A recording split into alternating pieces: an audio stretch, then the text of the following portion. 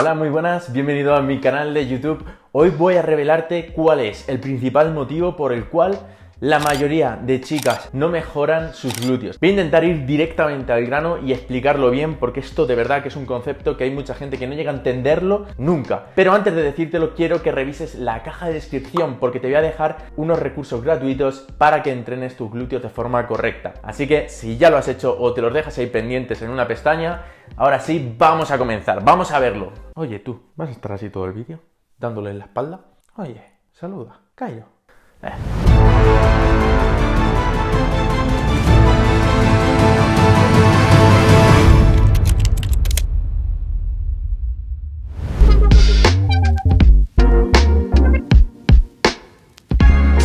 Bueno, resulta que la mayoría de personas cometen un error y es que no salen de la zona de confort en su entrenamiento. ¿Y qué quiere decir eso? Que tú cuando estás haciendo una serie de entrenamiento, vamos a intentar explicar esto de una forma súper clara y súper sencilla para que la visualicéis. Hay un momento en la serie, vamos a imaginar que estamos haciendo sentadillas o que estamos haciendo hip thrust, ¿vale? Que me gusta más. Cuando estamos haciendo hip thrust, hay un momento en la serie en el que empiezas a sentir dolor, entre comillas. Empiezas a sentir quemazón, empiezas a sentir una especie de congestión, de fatiga, y ahí muchas veces es cuando paras. El caso es que esto puede estar impidiéndote que salgas de tu zona de confort y que avances y que hagas realmente las repeticiones más efectivas de esa serie.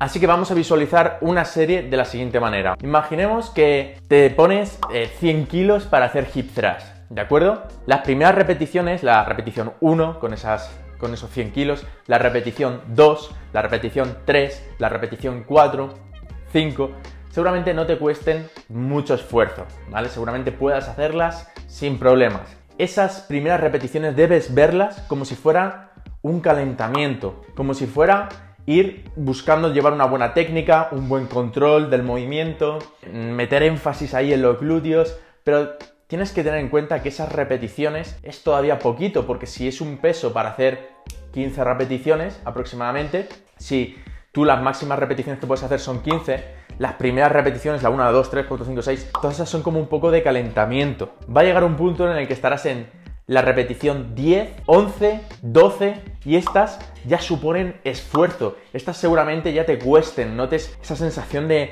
de, cansancio en el glúteo, de, de, un poquito de quemazón. Y aquí es donde mucha gente para. Aquí es donde mucha gente dice, uff, ya no puedo más. Y acaban haciendo pues 12 repeticiones, 10, 12 repeticiones con un peso que podrían haber hecho 15, ¿de acuerdo? Entonces, a partir de la repetición número 11, la 12, la 13, la 14 y la 15, son mucho más intensas, empiezan a tener ya un mayor esfuerzo en tu cuerpo, te sacan del confort. Llegar a ese umbral, a ese umbral de repeticiones que realmente estás capacitada para hacer con ese peso, requiere mucho más esfuerzo, es más incómodo, sentirás mayor dificultad, incluso puede que tiembles un poco cuando estás en la última repetición. No obstante, hay que experimentar esta, esta zona de vez en cuando tenemos que llegar a exprimirnos al máximo porque es lo que hace salir del confort. Si siempre entrenamos en el umbral este de aquí en el que, bueno, es desafiante, está bien, nos ha costado trabajo, pero no es ir más allá, no es realmente un gran esfuerzo, no vamos a progresar tanto. Y hay gente que siempre está en esa zona, incluso está en esa zona y en la de calentamiento.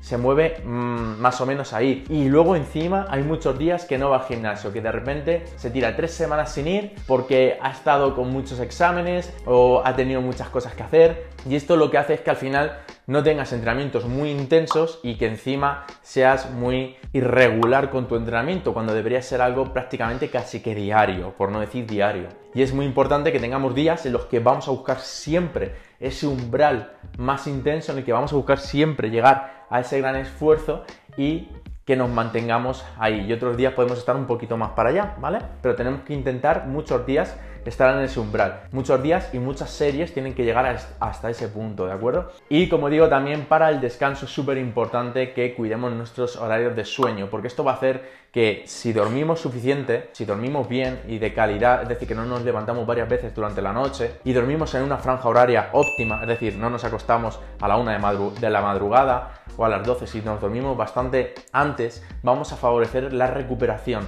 tanto a nivel de sistema nervioso, como a nivel muscular. Y eso va a hacer que rindas luego muchísimo mejor. Así que este aspecto de verdad, eh, dale mucha importancia porque vas a notar una gran diferencia.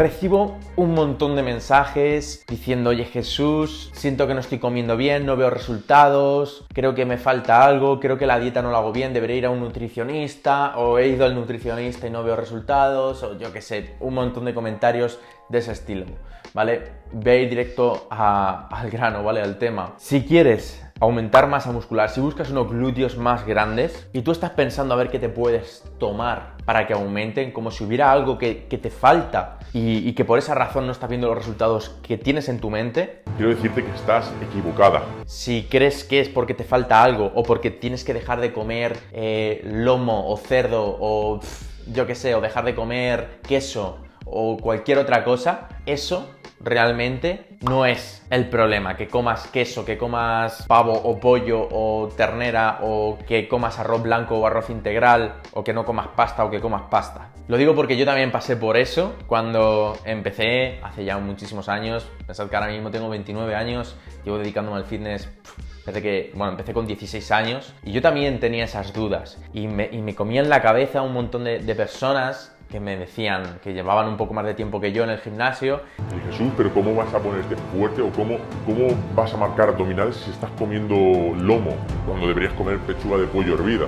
y tonterías así que no tienen ningún sentido. Después de estudiar durante varios años dietética y nutrición, después de formarme, después de especializar precisamente en la recomposición corporal, después de seguir a un montón de referentes, tanto a nivel de bioquímica, como a nivel de biomecánica, como a nivel de nutrición aplicada al entrenamiento, me he dado cuenta de que las personas tienden a creer que hay algo que les falta, algún alimento, sobre todo pasa mucho con la alimentación, que les está impidiendo ver esos resultados, cuando realmente lo que les falta es paciencia, les falta disciplina, les falta seguir ahí, constancia. Esto es lo que suele faltar. Es realmente bastante insignificante que cambies arroz integral por arroz normal, que comas mm, un día un poquito más, otro día menos.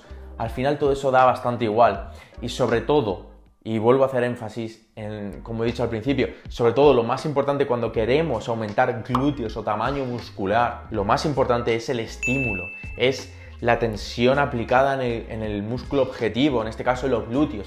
Eso es lo más importante y es lo que más suele fallar. Porque tú vas un mes al gimnasio, o dos meses, o llevas tres meses y quieres cambiar tu cuerpo de cómo ha estado toda tu vida. Y ahora que llevas dos o tres meses haciendo ejercicio, quieres convertirte en un físico, quieres tener el cuerpo de, de esa modelo, de esa chica o de ese influencer o de esa persona que has visto en Instagram. Y este es el problema, el, querer la inmediatez y pensar que nos está faltando algún alimento, alguna cosa, la dieta tiene que estar fallando, cuando en la mayoría de los casos esto no es así. Falta muchas veces un buen entrenamiento, porque al final el, glúteo es un músculo más que aumentará de tamaño si lo entrenas de forma correcta, si descansas de forma correcta. Y eso va a ser lo principal. Si tú comes mucho eh, o, comes muy bien, ¿vale? Y llevas la mejor dieta del mundo. Estás eh, bebiendo leche de las vacas de los Alpes. Estás tomando la mejor proteína del mejor laboratorio del mundo de suero hidrolizado con sustancias que se asimilan un 50% más rápido. Estás tomando estos mm, carbohidratos de asimilación rápida o lenta. Si tú crees que esa es la clave, te estás engañando, ¿vale? Porque alimentarse y comer es sencillo y es mucho más importante un buen entrenamiento y una buena constancia con ese entrenamiento, aunque lleves una dieta mediocre, ¿vale? Aunque no llegues a comer del todo bien, aunque a veces caigas comiendo mm, dulces o porquerías, o aunque a veces comas poco, otras veces comas un poquito más. Es decir, es mejor un buen entrenamiento de forma constante y específica para tus objetivos con una dieta mediocre que la dieta perfecta, pero con un entrenamiento bastante deficiente o mediocre esto va a ser todavía peor. Es decir, no vas a ver esos resultados en tus glúteos, porque piensa que el, glúteo o, toda tu musculatura, todo tu cuerpo, va a reaccionar al estímulo, no al alimento. Es decir, yo si como muy bien y como mucho, si no estoy entrenando bien mi musculatura y no le estoy indicando al cuerpo que quiero que aumente esa zona, lo único que voy a hacer es alimentarme y si me sobran las calorías ganaré grasa por muy buenos alimentos, por muy buenas elecciones que escojamos, el músculo no aumentará apenas. Por lo tanto, la persona que podemos verlo en, otros países, en África, en sitios donde no tienen acceso tanto a, alimentos tan privilegiados, a, comer de forma tan bien o en, otros sitios del mundo, consiguen desarrollar masa muscular, consiguen ponerse fuertes porque son constantes entrenando, porque entrenan de forma disciplinada. Y eso es lo más importante. Entonces, si además de ser constantes, que ya hemos visto que es lo más importante, el aplicar ese estímulo, si hacemos eso, aunque comamos alimentos básicos que nos da la naturaleza, como arroz, verdura, un poquito de, carne o de proteína o pescado, y da bastante igual ¿De acuerdo? No es necesario comer lo, lo, más caro o alimentos muy difíciles de conseguir, porque eso no va a tener un impacto en nuestro, en nuestro cuerpo para acelerar el proceso de aumento de masa muscular. La base, lo importante es que comas alimentos que la naturaleza ha puesto a nuestro alcance a, un poder adquisitivo bastante bajo.